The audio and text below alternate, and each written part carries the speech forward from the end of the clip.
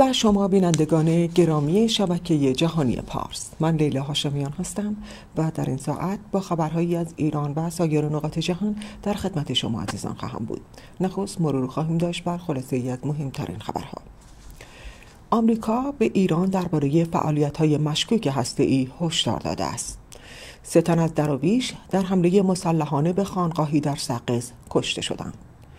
در گلوگاه مازندران 800 تن با نوشیدن شربت نظری مسموم شدند. فرهاد مشیری نقاش و هنرمند پرآوازه و معروف به گرانترین نقاش ایرانی در سن 61 سالگی درگذشت. اسرائیل یکی از فرماندهان نیروهای الفجر در جنوب لبنان را هدف قرار داد. جی دی ونس رسما معاونت ریاست جمهوری آمریکا را در صورت راهیابی ترامپ به کاخ سفید پذیرفت. افشاگر اسناد پنتاگون در دادگاه نظامی محاکمه می شود. موج سرقت با اسید در سوئد افزایش یافت. کشیش معروف فرانسوی و بنیانگذار مؤسسه خیریه ضد فقر به آزار جنسی هفت زن متهم شد و استفاده از کپسول خودکشی به زودی در سوئیس آغاز می شود.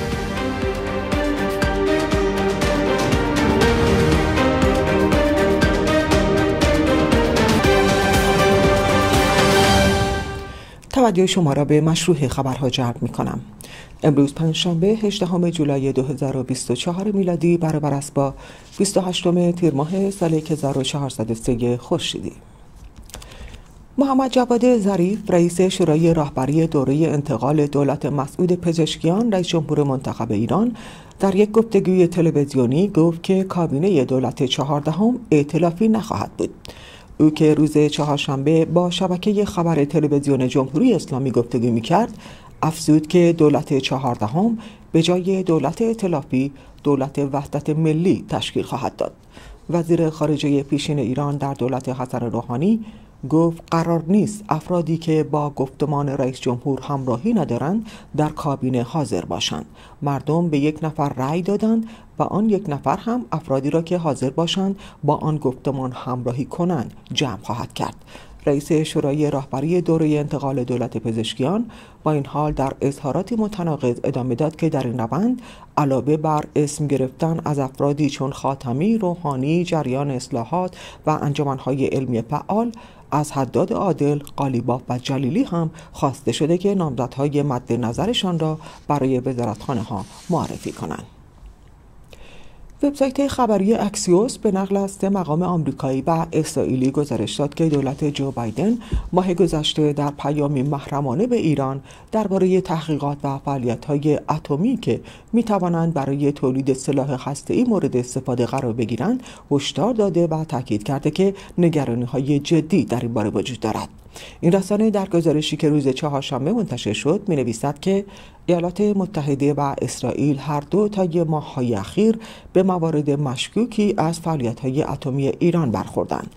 مقامات آمریکا و اسرائیل نگرانند که این فعالیت ها شاید بخشی از برنامه پنهان جمهوری اسلامی برای استفاده از ماههای شلوغ منتهی به انتخابات ریاست جمهوری آمریکا باشد تا در مسیر تولید سلاح ای گام بردارد. به نوشته اکسیوس نهادهای اطلاعاتی ایالات متحده و اسرائیل و همچنین مقامات دو کشور برای پی بردن به فعالیت های ایران و درک اینکه آیا تغییراتی در سیاست های هسته علی خامنه ای رهبر جمهوری اسلامی ایجاد شده؟ با یکدیگر رایزنی و همکاری کردند در حمله مسلحانه افراد ناشناس به خانقاهی در محله تپه مالان در سقز سه درویش کشته شدند. به گزارش رسانه های محلی شیخ آزاد شهابی که گفته می شود از دراویش سرشناس در منطقه بوده و دو تن از دراویش این خانقاه که مرید او بودند در حمله بامداد پنجشنبه به این عبادتگاه کشته شدند. برخی از منابع این دو را درویش پرویز و درویش پیمان معرفی کردند. فرماندار سقز و مسئولان انتظامی می‌گویند که زارب یا زاربین هنوز شناسایی نشدند. رئیس سندیکای تولید کنندگان برق اعلام کرده که کشور با 18 هزار مگاوات ناترازی برق مواجه است و اگر این مشکل طی 5 تا 7 سال آینده حل نشود باید منتظر بحرانهای اجتماعی و اقتصادی جدی در ایران بود. حسن علی تقیزاده روز پنجشنبه در گفتگوی با روزنامه هم میهن دلیل این ناترازی را سیاست های غلط وزارت نیرو اعلام کرد. او گفت اگر این روند ادامه یابد در ده سال آینده ناترازی به 27 هزار مگاوات معادل یک سوم برق مصرفی کشور می‌رسد. تنها ساعتی بعد از انتشار ویدیویی از شرکت گروهی از دختران نوجوان و جوان بدون هجاب اجباری در مراسم زنجیرزنی و زنی خیابانی یک هیئت عزاداری در کرج نیروی انتظامی از برخورد با این هیئت و احضار این دختران خبر داد. به گزارش خبرگزاری فارس روز چهارشنبه حمید هداوند فرمانده نیروی انتظامی استان البرز از شناسایی و احضار این دختران خبر داد. به این دختران را به حد حرمت متهم کرد. در خبری کوتاه مدیر شبکه بهداشت و درمان شهر گلوگاه در استان مازندران تایید کرده که روز دوشنبه 25 تیر ماه حدود 800 تن بر اثر مصرف شربت نظری که در ایستگاه های عزاداری محرم توضیح شده بود مسموم شدند. به گفته ابراهیم خادملو همه مراجعان بعد از دریافت دارو و تزریق سرم به صورت سرپایی درمان شدند. فرهاد مشیری نقاش و هنرمند پرآوازه و معروف به گرانترین نقاش ایرانی روز چهارشنبه 27 تیر ماه در سن 61 سالگی و در پی سکته قلبی درگذشت.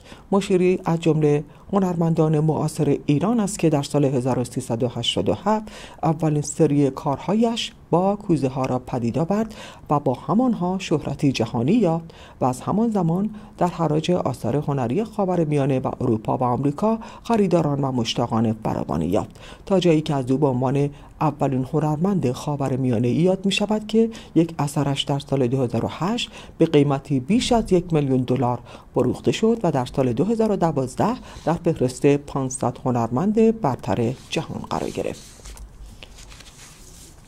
در حمله جدید اسرائیل به جنوب لبنان یک پهپاد اسرائیلی خودرویی را در روستای غزه در شهرستان بقای غربی هدف قرار داد منابع خبری العربیه روز پنجشنبه تایید کردند که در این حمله محمد حامد جباره یکی از فرماندهان نیروهای الفجر وابسته به جماعت اسلامی کشته شده است جماعت اسلامی هم با انتشار بیانیه ای این خبر را تایید و اعلام کرد که محمد حامد جباره ملقب به ابو محمد هدف این حمله بوده است.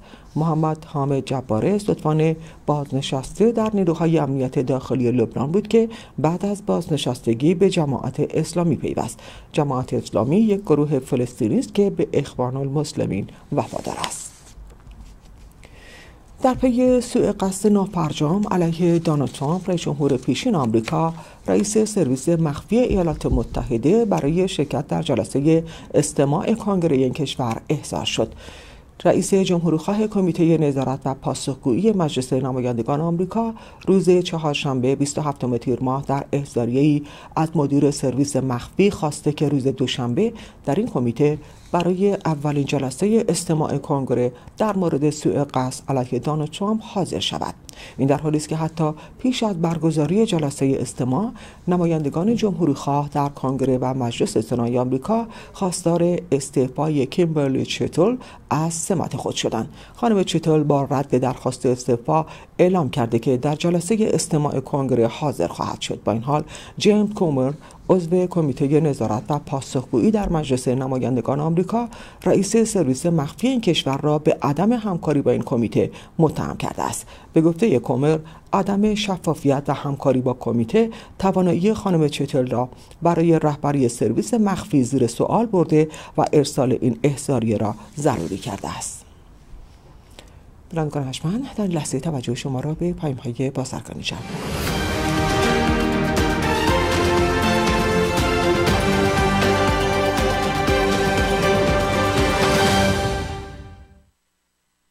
سرشناسترین وکیل جامعه ایرانی دکتر کامران یدیدی تصادفات اتومبیل موتورسیکلت صدمات بدنی حمله حیوانات زمین خوردگی. در امور تصادفات و صدمات شدید بدنی کادر قدرتمند ما برگ برنده شما بر ضد شرکت های بیمه خواهد بود. فقط و فقط یک نام دکتر کامران یدیدی. 818 999 99 99 معتبر برا با ادویه جوجه کباب صدف تهیه یک جوجه کباب لذیذ و آبدار خیلی ساده است. گوشت جوجه رو بعد از شستن به اندازه های مناسب می‌بریم. کمی روغن اضافه می‌کنیم و ادویه جوجه کباب صدف رو روی اون میپاشیم. و بعد همراه با سبزیجات دلخواهمون به سیخ می‌کشیم. خب آتیش هم که آماده است. حالا جوجه ها رو کباب می‌کنیم و کمی بعد با لذت نوش جان می‌کنیم. بله انتخاب صدف انتخاب بهترین هاست.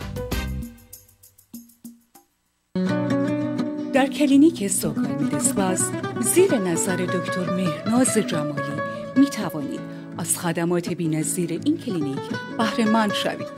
خدماتی همچون لیزر مو بوتاکس فیلر، شفافسازی و جوانسازی صورت، بوتاکس های درمانی، موزون سازی بدن و کاهش وزن. برای کاهش وزن شما می توانید با استفاده از سماگلوتاید در کوتاهترین مدت زمان به وزن دلخواهتان برسید.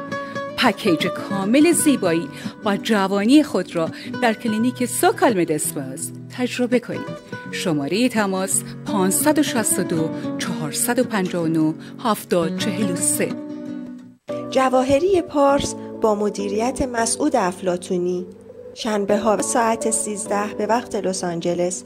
818 377 31 818 344 50 50 از شبکه جهانی تلویزیون پارس. به هیچ وجه نگران فروش خانه، باغ، ویلا و یا دیگر اموال خود در هر نقطه از ایران نباشید. این کار در تخصص وکلای ماست. شماره تماس 818 577 77 59 7 روز هفته 24 ساعته.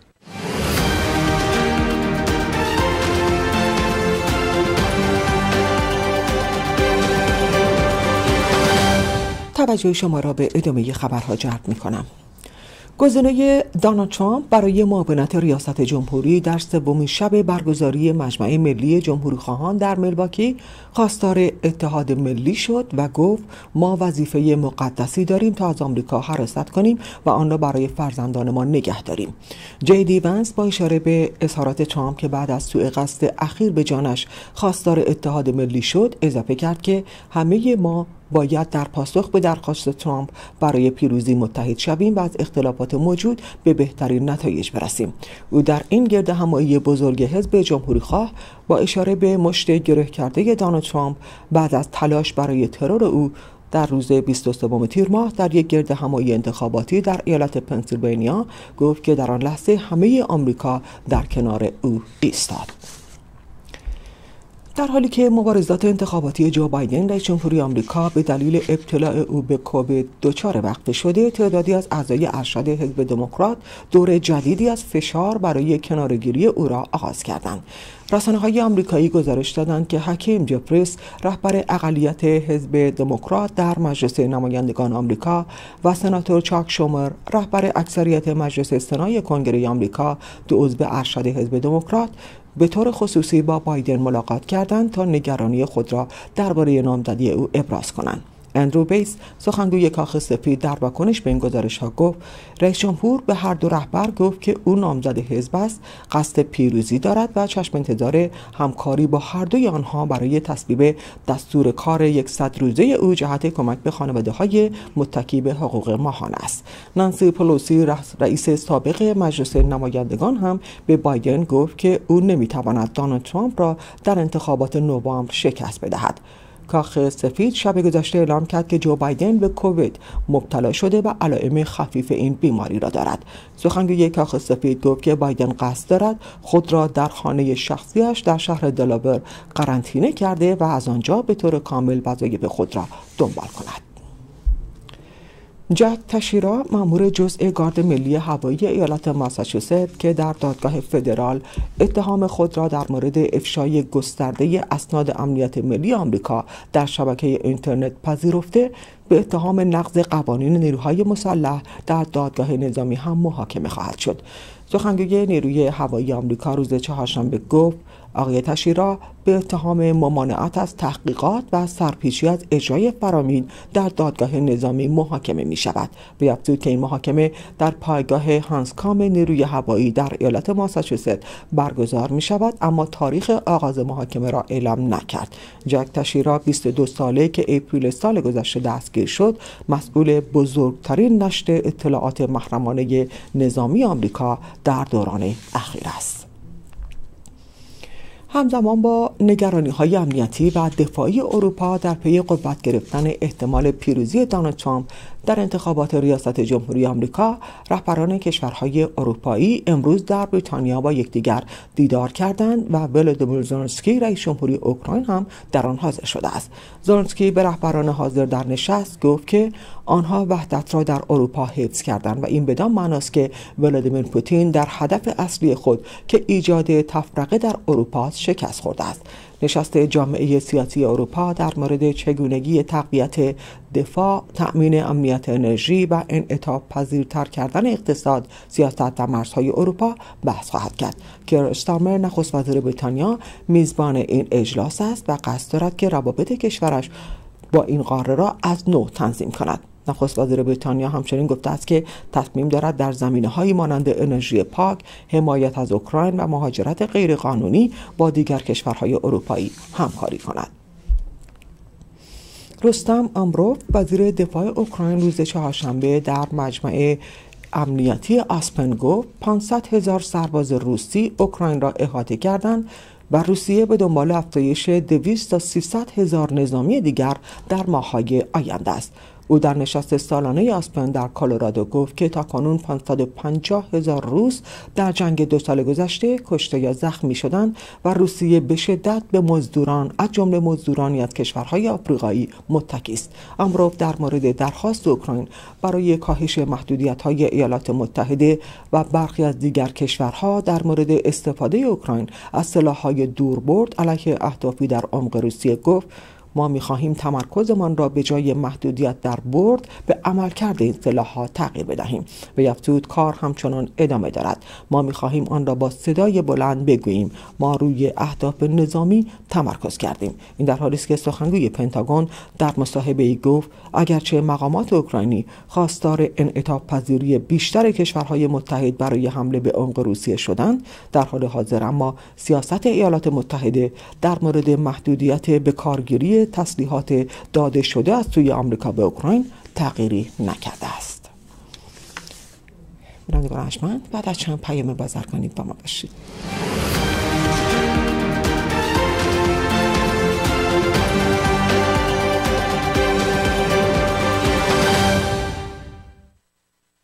with Sam.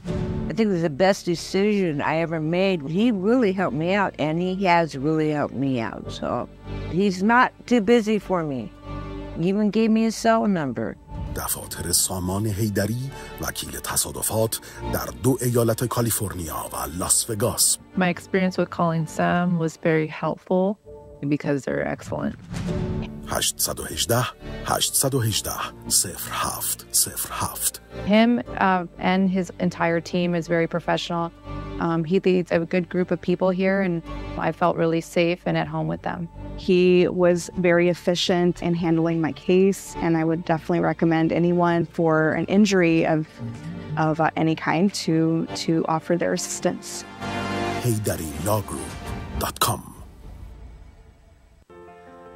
Westside Medical Pharmacy در 11 968 Wilshire Boulevard در خدمت جامعه ایرانی داروخانه Westside Medical به مدیریت دکتر سویل کاتوزی با همکاری تکنیسیان های مجرب و ارائه واکسن های روز تحویل رایگان دارو به منازل شما در همه مناطق به خصوص بورلی هیلز، Valley، West LA و سانتا مونیکا. دوشنبه تا جمعه ده صبح تا پنج بعد از ظهر. تلفن 310 441 1200 داروهای گیاهی دکتر سهراب خوشبین نیز در وست ساید مدیکال فارمسی موجود است. به به. هیچی مثل دوغ بیبلوس نمیشه. یادتونه قدیما می‌رفتیم لب چشمه درکه دربند. چلو کباب سفارش می‌دادیم. غذا به همون نمیچسبید تا اون دوغ محلی و طبیعی رو مینوشیدیم. الانم تنها دوغی که کاملا به یاد دوغای خونگی خودمون میندازه دوغ بیبلوسه. سالم کاملا طبیعی خوشتم تهیه شده از ماست و شیر بدون هورمون و مواد افزودنی. امتحان کنین. خودتون تایید خواهید کرد که هیچ چیزی مثل دوغ بیبلوس نمیشه. ایرانیان عزیز ساکن آمریکا و کانادا برای رفع مشکلات حقوقی شما در ایران با منوچهر معتمر مشکل حقوقی شما حل شدنی است. فروش املاک شما در ایران جهت ایرانیان خارج از کشور. عقص اجازه افک پیش از فروش املاک. انجام کلیه امور حقوقی مربوط به دادگاه های حقوقی و تجدید نظر در دیوان عالی کشور دریافت شناسنامه، گذرنامه، تنظیم وکالتنامه، اعم از کاری و فروش، ثبت رسمی ازدواج و طلاق شرعی با منوچهر معتمر مشکل حقوقی شما در ایران حل شدنی است. تلفن 949 202 72 88 خوشبختانه همه چی قانونا درست شد.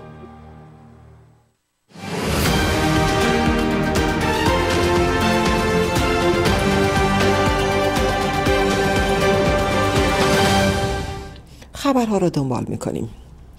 مقامات ایتالیایی اعلام کردند که در جستجوی زن گردشگری هستند که با بالا رفتن از مجسمه باکوس در فلورانس حرکات جنسی با این مجسمه انجام داده است. شهرداری فلورانس اعلام کرد که این گردشگر در صورت شناسایی به جریمه نقدی و احتمال ممنوعیت مادام العمری ورود به فلورانس محکوم خواهد شد. پلیس سوئد روز چهارشنبه اعلام کرد که در حال بررسی ارتباط بین موج سرقت‌های اخیر در استکهلم با موارد مشابه در سایر کشورهای اروپایی است که طی آن سارقان با استفاده از اسید نیتریک اقدام به ذوب قفل‌ها می‌کنند. سخنگوی پلیس سوئد به خبرگزاری فرانسه گفت که از حدود سه ماه گذشته دست کم 49 مورد گزارش سرقت با استفاده از اسید برای ذوب قفلها در پایتخت این کشور ثبت شده است بنا به گزارش پلیس تا کنون چندین قفل که توسط سارقان از بین رفته مورد بررسی کارشناسان قرار گرفته و محققان پزشکی قانونی تایید کردند که از اسید نیتریک یک مایع خورنده بیرنگ برای تخریب آنها استفاده شده است.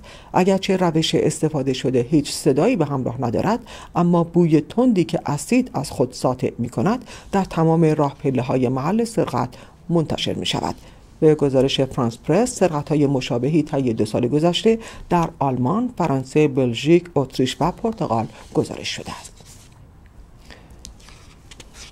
آب پیور کشیش سرشناس فرانسه که به خاطر فعالیت های اجتماعیش شناخته می شود 17 سال بعد از مرگش به ارتکاب اعمال خشونت آمیز جنسی متهم شده است.